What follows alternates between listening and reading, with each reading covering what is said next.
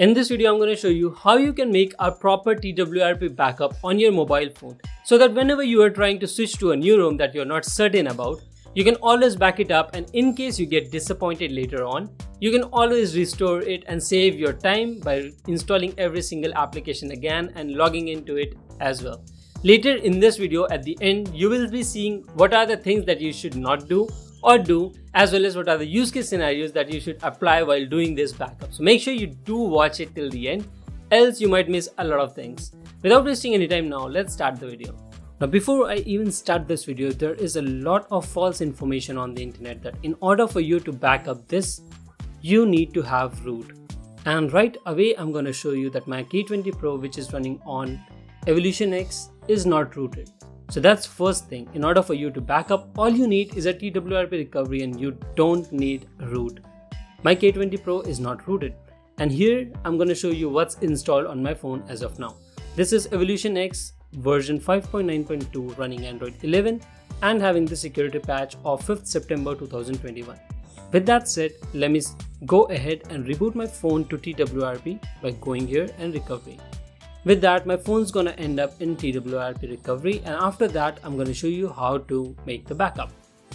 Once you boot up to TWRP, you have to head to this backup option. Once you're here, it's gonna show you all the partitions. Now make sure you select every single partition even if it says 0 MB. You can basically skip the 0 MB but for the sake of it, select all the things that you are doing here. And in here you can go to options enable this enable compression. What this will do is reduce the size of the entire backup, which will help you if you're running low on space. And under backup, if you go to here select storage, if you have an external SD card, you can select there and that will help you make the backup in that external storage and then click OK or if you even have a OTG, you can literally go there select the OTG and that will also put the OTG pen drive in that option and the backup will then go there. If you want to edit the name of this backup, you can quickly do that here as well by putting some specific name that you remember what ROM it was and what date it was taken. And after you are satisfied with all these options, if you really want some extra protection, you can encrypt your backup with a password. But I wouldn't really recommend you to do that because if in case you forget the password, you're gonna lose the backup. Once you have all this thing done, all you have to do is swipe this.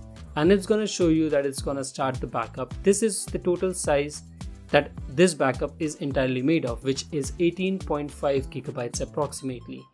And this is how much it's done. So meet you after the backup is complete. Now that the backup was complete what i'm going to do is go to wipe advanced wipe and clear all these options without clearing the internal storage that's important because that's where my backup is right now if I clear that, my backup will be gone. Swiping, and that's gonna let it happen. Now, a lot of people will say that I skipped the backup. That's because I already have backed it up before to make this video quicker. I have the backup already on this phone and I have removed everything. Now I'm gonna quickly put some ROM on my phone so that I can install it. So right here if you see I have dotOS version 5.1.3 for K20 Pro as well as the vendor that I would require before flashing that ROM because of the specific vendor requirement. Now this brings me to this point while we were backing it up I told you to back up everything including the vendor because that ROM would require a specific vendor and if you back it up together it's gonna help you a lot.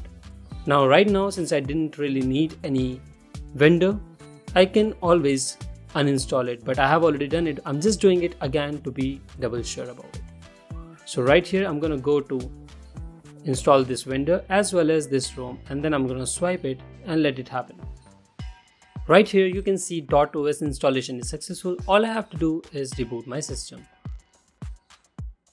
And let's hope that I get that dotOS animation right here. And there you have it. Now since my dotOS installation is successful, I can see that this is properly installed. Everything I can use here. But for example, you do this and you don't really like this ROM anymore and you really want to switch back to what you were before. In my case, it was Evolution X.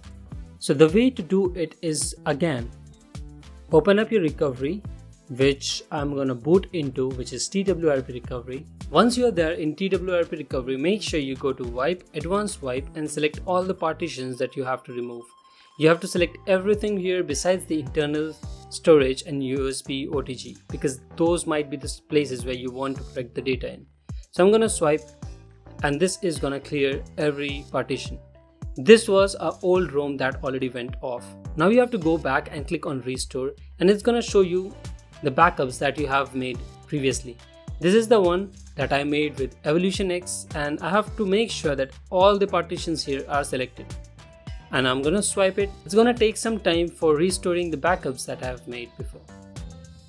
Once your TWRP restore is complete, you'll be seeing restore completed in and then the time mentioned. At this point, make sure you do not wipe anything and just click on reboot system.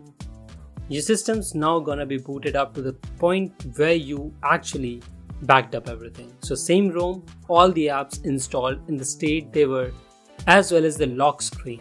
That is important if you lose your lock screen or if you forget the lock screen when you were backing it up. It's better to remove the lock screen and then back up, else you might not even be able to get inside.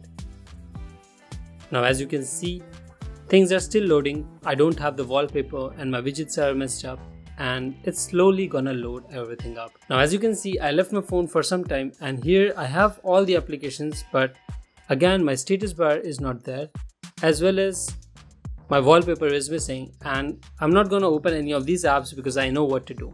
Right at this point if you stuck here like if you're stuck here you would probably also not end up seeing any power menu. So the best option is to hold the power menu for around 10 seconds and your phone's gonna restart automatically because it would require a normal restart for things to again set it up and properly be visible for you. That's what I'm gonna do. And hopefully this time around you'll be able to see everything as it was before you even backed it up. So right here you can see the wallpaper came up and the clock and stuff is there. I had removed the lock screen so it's not on there anymore. But all the settings status bar you can see it's there and all the settings as I had kept is already there as well. And right here for the WhatsApp, it might give you error if in case you're logging in here more than 24 hours later. So if that is the case, you quickly go in here, first first stop it and or probably you can even just go and uninstall it.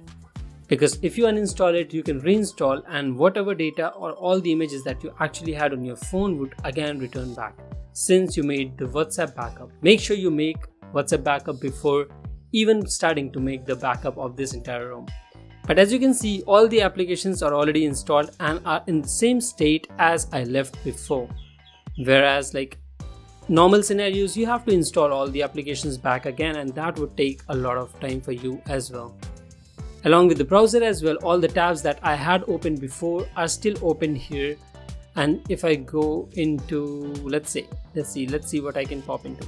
If I go to Pokemon Go, probably the game might still be there. I haven't had, I haven't logged in it, so it's gonna ask me to log in again. But all the data of this game, I think, would still be preserved, and same would go with PUBG and all the other applications that I have here. So this is the way that you can back up everything that you want, and then later on restore and come back to the same point as which you backed up. There are some things that you should be really careful about when you make this kind of backup. First of all is never store your backup that you just made on your internal storage because at times while you will be installing a new ROM, it would ask you to format it because of the encryption of your device. So best way is to use an OTG cable or store that backup on an SD card so that you never lose it. Next thing that you should always look out for is do not skip a partition while you backup a specific ROM because at times different ROMs have specific changes in some specific partitions and when you do that when you skip a partition while you restore it might give you an error. So make sure you back up everything all the specific partitions that it shows you and restore all the specific partitions as well. Now that brings me to the third point. Before restoring make sure you clear out all the partitions and every data of the previous ROM and then only do it. Else it might overwrite sometimes and you might end up getting systems crashing. Fourth and final thing that might happen to you is when you restore your complete ROM back, and when you reboot your phone it might freeze for some time. So best way is to leave your phone for some time until it loads all the data and the apps unlock it and if in case you find some applications crashing restart your phone. That usually fixes it. And for whatsapp specifically do not rely on the backup that you did with this TWRP because all the images, videos and documents that are staying on your storage, internal storage will get wiped out when you change or like format your data. So what I always recommend is use WhatsApp backup instead. Backup your WhatsApp right before uninstalling the complete ROM and doing the TWRP backup and then restore WhatsApp after you restore the ROM. That way all the images, all the videos and all the conversations will still be there rather than you only having the conversations and losing all the media files. That was all the things that you should remember. So with that I end today's video. In case you like it, don't forget to leave your like as well as comment down below what you thought of this video. If in case you have some specific request to make that I should review a ROM or a gadget or a specific video you want me to pump, let me know in the comment section below. If you're new to my channel, don't forget to subscribe because that's how you will get my latest videos every week. And I'll be catching you guys later in another week with another video. Until then, take care and peace.